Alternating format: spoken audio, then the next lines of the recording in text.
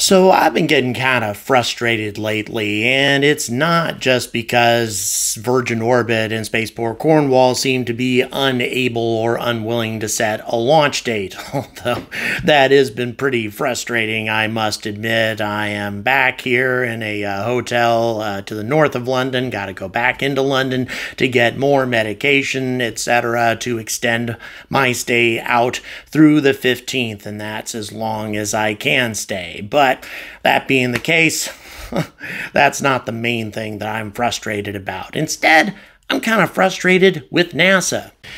And there's a hell of a lot to be frustrated about, in spite of the fact that Artemis seems to be going well, Orion's uh, returning from the moon, all of that is looking really positive, but we don't seem to have a consistent message from NASA in regards to what they really intend to do, what going back to the moon to stay actually means. I mean, we've got images like this and like this, things that depict enormous lunar cities. And they just made another announcement recently that they've contracted with a company called Icon to build enormous lunar habitats. They put over $50 million down with these guys. Now, that doesn't seem to be a solution that fits in with two people staying on the moon for 30 days or four people staying on the moon for 60 days. It seems to be far far more ambitious.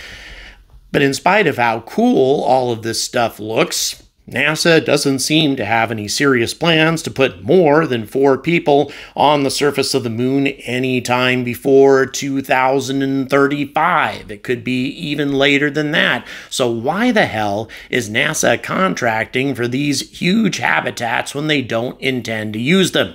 Well, because I think we really need to just find out what these habitats are all about. They are amazingly cool, and if NASA's spending all this money on it, surely they must have some sort of long term plans to actually build something like this. So let's check it out right now.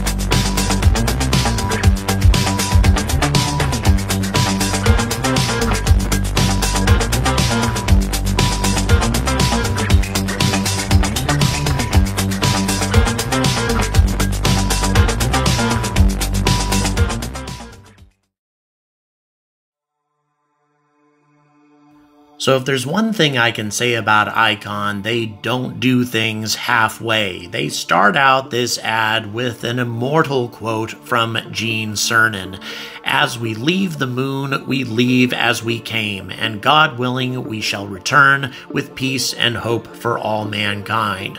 Obviously, Gene Cernan always wanted what NASA is trying to do right now to return to the moon to stay and to establish a permanent human presence there. It is tragic that the poor man died before he got to see any of his dreams realized, but at least he got to experience the wonder of setting foot on another world. That being said, though, Icon seems to be taking this legacy by the horns and trying to complete what Gene Cernan started. According to a press release that hit the news wires a couple of days ago, quote, NASA has awarded ICON, located in Austin, a contract to develop construction technologies that could help build infrastructure such as landing pads, habitats, and roads on the lunar surface. In order to explore other worlds, we need innovative new technologies adapted to those environments and our exploration needs, said Nikki Werkheiser, Director of Technology Maturation in NASA. NASA's Space Technology Mission Directorate. Pushing this development forward with our commercial partners will create the capabilities we need for future missions. But look at these massive habitats that ICON has in mind, and like so many other contractors who are working on extraterrestrial habitats, they plan to use 3D printing. They were, in fact, the first company to build a 3D printed house, and you're looking at it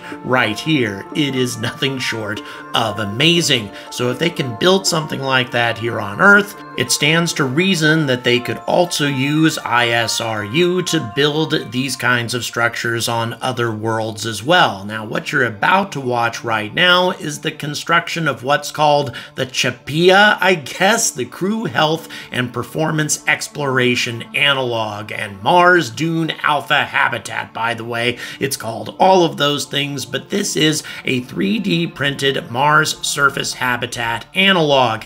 It's 1700 square feet. It has four private crew quarters, dedicated workstations, a dedicated medical station, common lounge areas, and a galley and food growing stations. And it's not just for show. Three different NASA crews will be selected to live in Mars Dune Alpha for one year missions. Each crew will include four individuals and two alternates. The analog missions will provide valuable insights and information to assess NASA's space food system as well as physical and behavioral health and performance outcomes for future space missions. So clearly, NASA is planning to have four people on the Martian surface for a long period of time. But at the same time, the Artemis plan suggests that only two astronauts will go to the surface of Mars for a couple of months, living inside a Martian rover and not inside a huge habitat like this.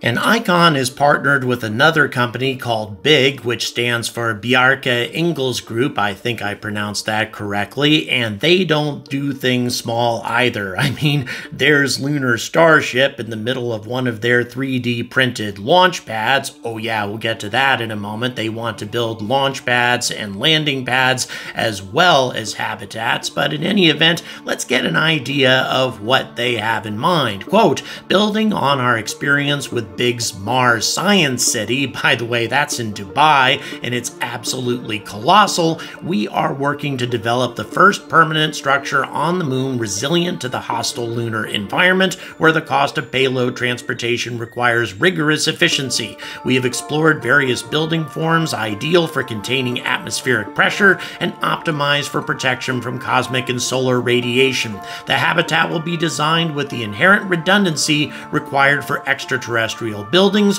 while also using groundbreaking robotic construction that uses only in situ resources with zero waste left behind. And by the way, that's a quote from Martin Voelkle at the Bjarke Ingels Group. And in addition to that, Icon has their own quotes. Jason Ballard, who's the co-founder and CEO, said the following, quote, To change the space exploration paradigm from here and back again to there to stay, we're going to need robust, resilient, and broadly capable systems that can use the local resources of the moon and other planetary bodies. We're pleased that our research and engineering to date has demonstrated that such systems are indeed possible, and we look forward to now making that possible possibility a reality. The final deliverable of this contract will be humanity's first construction on another world, and that's going to be a pretty special achievement.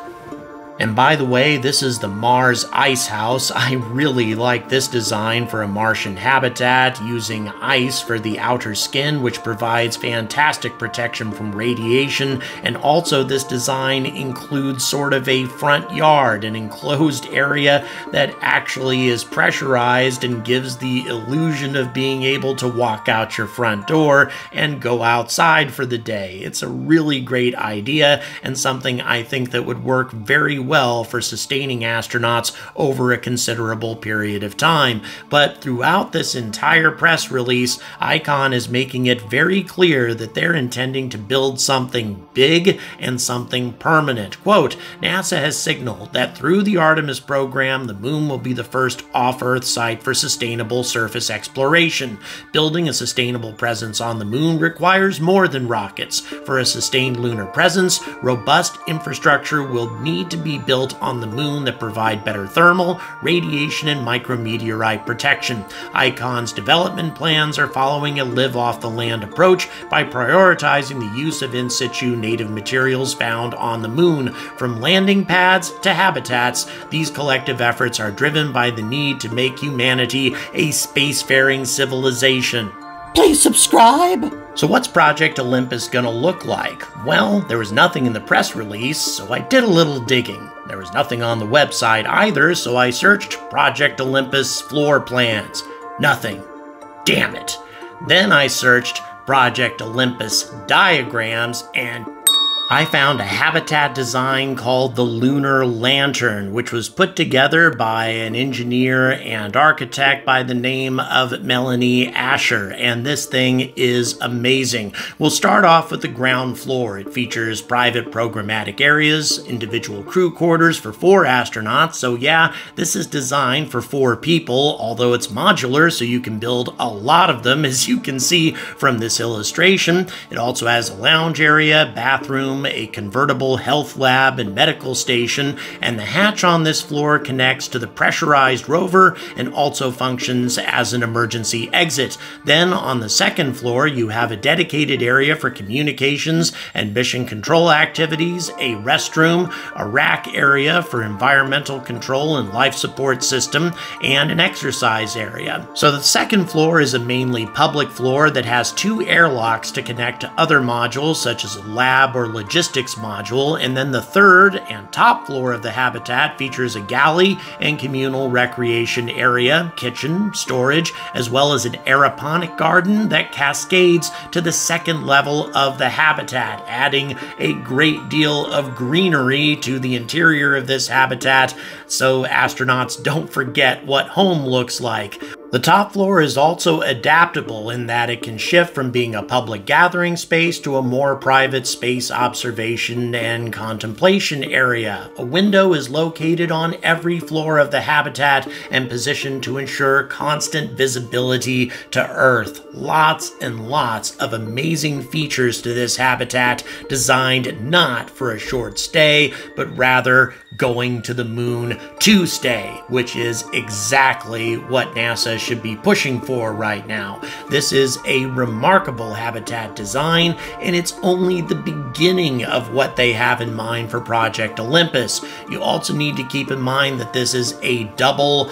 hulled habitat, that is to say, it has two one meter thick 3D printed regolith walls to provide maximum protection from the outside environment and also to contain the necessary pressure differences between the inside and outside, obviously, and also to provide a tremendous amount of protection from cosmic rays and solar radiation. This is an amazing design that provides all the comforts of home a quarter of a million miles away. I really like the design, and as you can see, Starship appears in all of their recent illustrations. It's obvious to Icon that Starship is going to represent the future of mankind's efforts to colonize the solar system, and they want their structures to work in concert with Starship's infrastructure. And honestly, I think this is one of the best possible solutions that NASA could ask for if they are indeed serious about going to the moon to stay. And if you're a super nerd like me, you want to see all the details, so this is how these one meter thick walls are built. Instead of just being a simple one meter thick lunar concrete wall, you instead have layer upon layer of protection to add structural strength and protection. You have, of course, the lunar concrete made out of regolith. On top of that, you also have tension cables, Whipple shield panels, and a Whipple shield lattice to add further structural strength and a fabric liner. This is a hell of a wall designed to protect the astronauts from the extremes of temperature, the extreme pressure differential, and the extreme radiation. And I'll tell you, I think that this is more than enough to keep astronauts safe on a sustained lunar mission of six months or even longer. But here's another fantastic aspect of Project Olympus, which I've kind kind of mentioned before, they're also going to build landing pads for Starship, which is going to be unbelievably important to Starship's long term success, not only on the moon, but even on Mars. If Icon can demonstrate their capability of using in situ resources to build very large landing pads suitable for Starship to set down on, and I think that's going to be very important. A vehicle as tall and as unstable and as heavy as Starship landing on lunar regolith, and we have no idea exactly how well regolith is going to hold up under that kind of weight. We really need a landing pad instead, and Icon is already, as you can see, working on making that a reality. And in the near future, they're going to be using Apollo regolith samples in order to more accurately simulate lunar regolith for their construction purposes. This is a comprehensive plan to create not just a small lunar habitat for a couple of months, but a lunar city. But aren't these grandiose plans in sharp contrast to what NASA has in mind for Artemis? I mean, four astronauts on the lunar surface for 60 days at most, and then two astronauts on Mars for a couple of months while driving around in a rover? Well, in my opinion, there's a division of philosophy at NASA. There are those who want to go the conservative route in order to get the job done as inexpensively as possible, and then there's a visionary side of NASA that really wants to make us into a multiplanetary civilization as aggressively and as optimistically as Elon Musk does. And given the fact that they've just put down almost $60 million on this kind of vision, well, that may be what we have in store for the future. Please subscribe, guys. We are almost at 90,400 subscribers right now. We are inching our way towards that 100,000 subscriber finish line. And don't forget, I am going to be blowing up New Shepard the moment I hit that 100,000 mark. Please check the description for various ways to support my channel and to keep this content coming. And as always, Stay angry about space.